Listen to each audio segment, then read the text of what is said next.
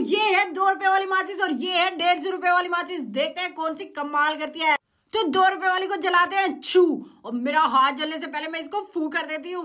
अब देखते हैं इस डेढ़ सौ वाली माचिस से क्या कमाल होने वाला है। और इसकी स्टिक को हम बाहर निकाल लेंगे और इसमें थोड़ा सा पेट्रोल डाल देंगे। ये पेट्रोल इसके साथ में आता है।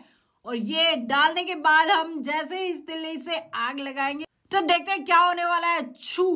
ये तो बढ़िया वाली दिल्ली है भाई, इससे तो परमानेंट इलाज हो गया। अब देखते हैं, ये कोयले जलाकर ये जला पाएगी या नहीं? तो कोयला में तो इसने लगा दी है बढ़िया वाली आग, और थोड़ा सा पेट्रोल डाल के हम भी लगा देते हैं। तो आपने भी लगानी है चैनल में ऐसे ही आग तो सब्सक्राइब कर लीजिए चैनल को, और लाइक कर दीजिए वीडियो को।